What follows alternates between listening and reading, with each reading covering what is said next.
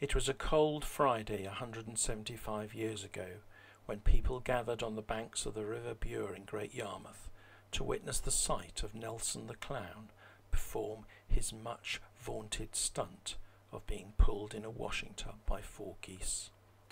This virtual walk takes us around some of the sites that are relevant to this awful event and to commemorate those that died.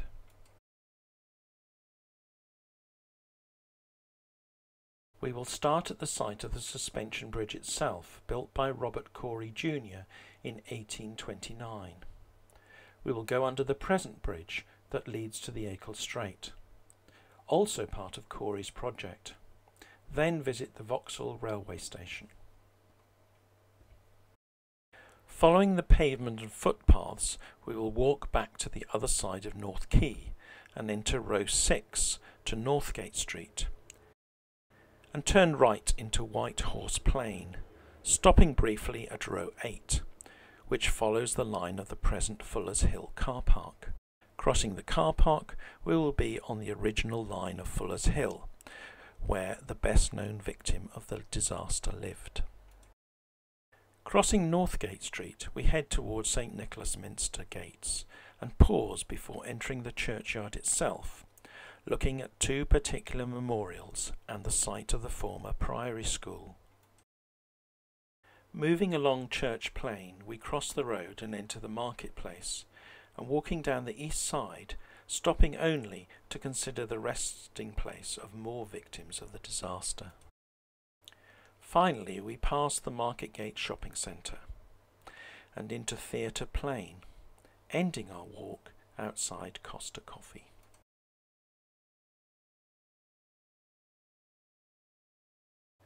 In the early 19th century, this point on the River Bure was a crossing point to the marsh grazing that lay to the west, and a small pleasure garden on the other side of the river known as Vauxhall Gardens.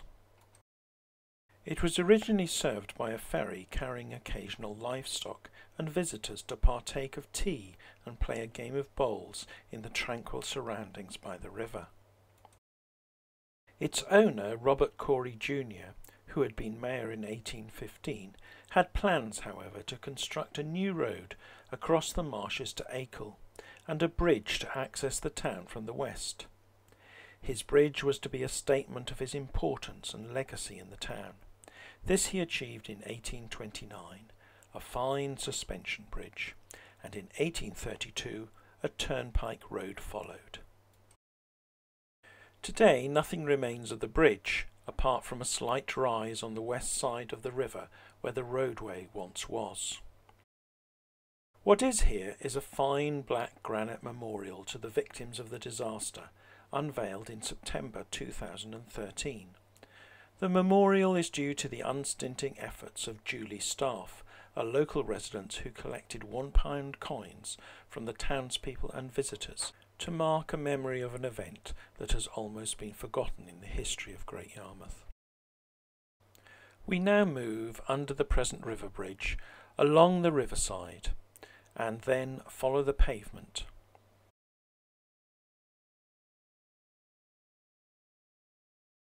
Cutting back towards the railway station and crossing the old Vauxhall Bridge, now no longer carrying railway traffic.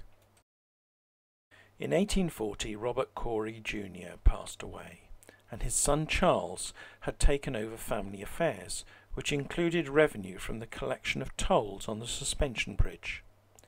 The coming of the railway to Yarmouth, manifesting itself in the Yarmouth to Norwich line, was to change the economic prosperity of the town, like so many throughout the country. The railway company wanted to build its own bridge into the town and along the quay to load fish directly into wagons, but were not prepared to pay the Corys a fair amount for their rights over the river. The dispute had not been resolved by the time the railway was complete in 1844, and therefore the railway station was built on the Vauxhall side of the Bure. The acrimonious dispute was crucial in delaying any plans for a more suitable bridge that would take the additional weight of goods and traffic to the new railway station. This bridge, built by the railway company, only came after the collapse of the suspension bridge when the Corys sold their rights to the company following the disaster. If we wander down to the station itself, we will see a mural depicting Nelson the Clown in his washing tub sailing upon Breydon Water into the Bure. The crowd gathered in their hundreds on the bridge and wanting to get the best view surged to the south side. The suspension chain snapped, throwing mostly women and their children into the water. Tangled in the twisted metalwork and wooden walkway, if they did not drown, they were soon overcome by the icy water of the river or crushed by the tide surge against the dam that the fallen bridge had created. In all, some 78 did not survive. We now retrace our steps and crossing the road at the Pelican Crossing, past the supermarket, once the site of the Lacon's Brewery. The brewery supplied barrels of hot water into which the lifeless bodies were plunged to try and revive them as the victims were dragged from the river.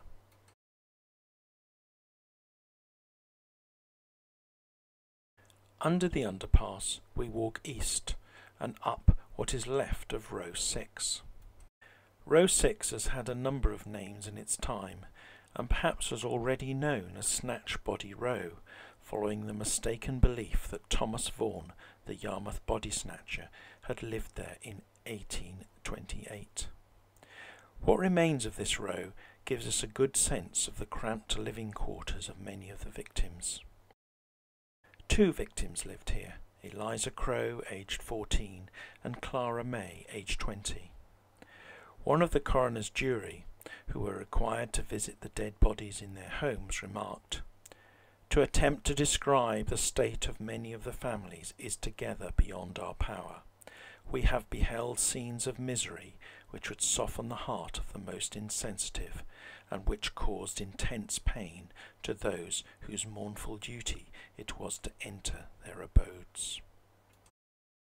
Passing out of row six and turning right into White Horse Plain, we reach the corner of the old coaching inn it is named after.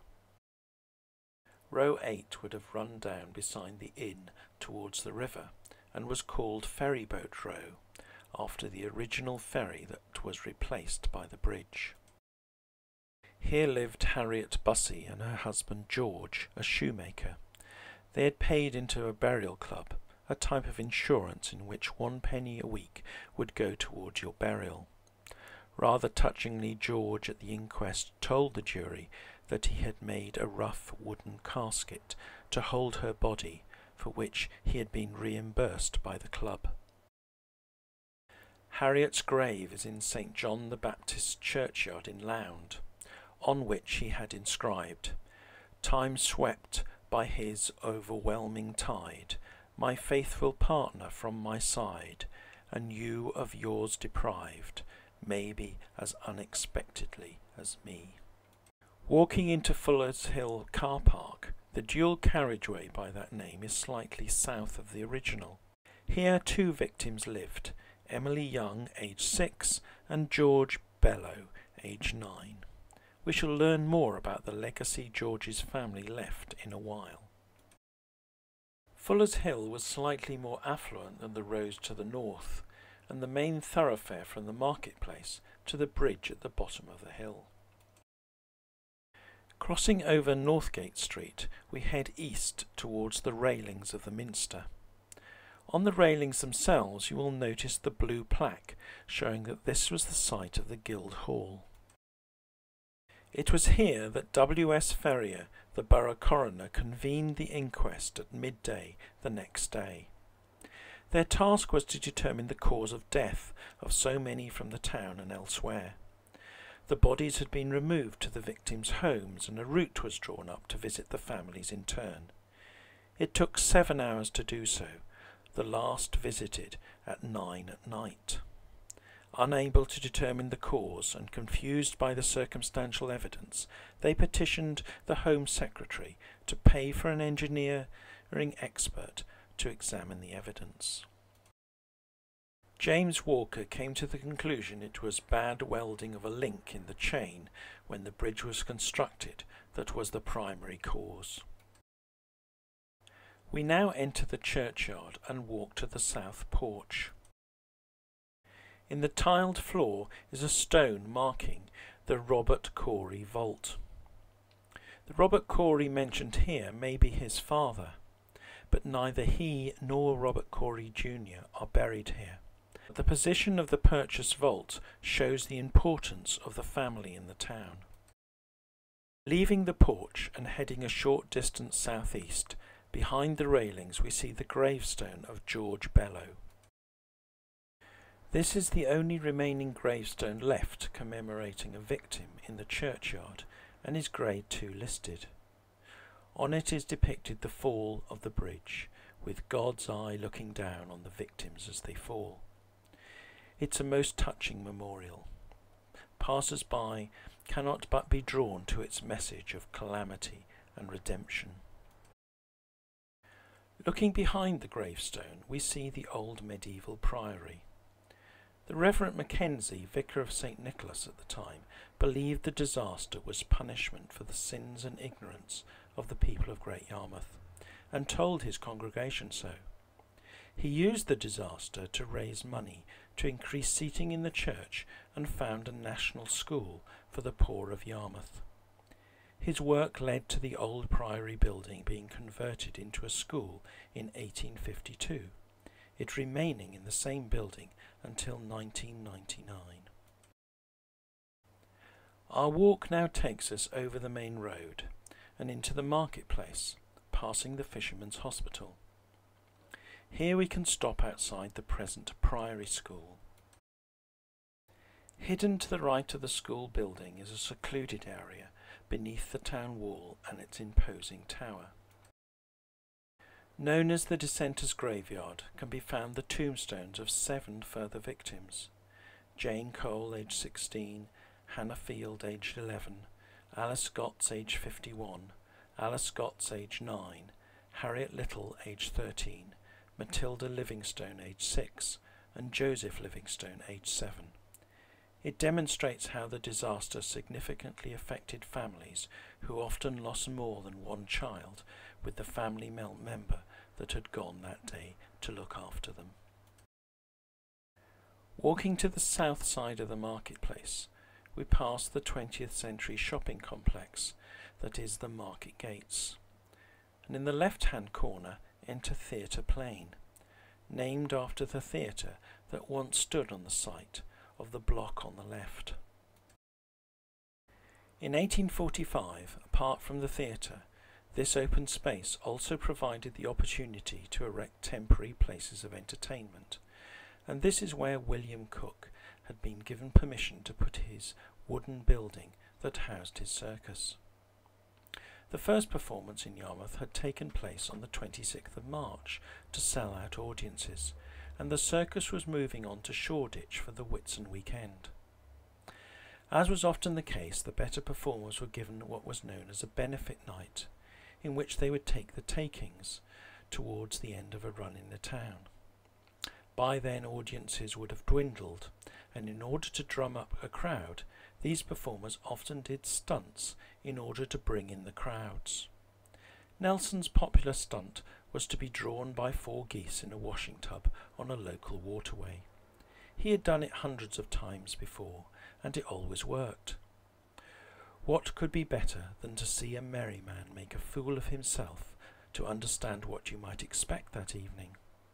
As usual, Nelson had flooded the town with handbills and posters, and therefore all that could and wanted to were likely to watch his journey from Yarmouth Bridge to the Vauxhall Gardens that late afternoon. And so we must end our walk. The tragedy not only affected the victims' families and the inhabitants of the town for the rest of their lives, but we are also told that Nelson was deeply affected by the event, suffering, as one reporter put it, of great mental and bodily anguish. He was not to live into old age himself, dying at 44 from an injury he received while performing some 15 years later. And so ends our virtual heritage walk. The Great Yarmouth Heritage Guides will be pleased to see you on one of our walks in the near future.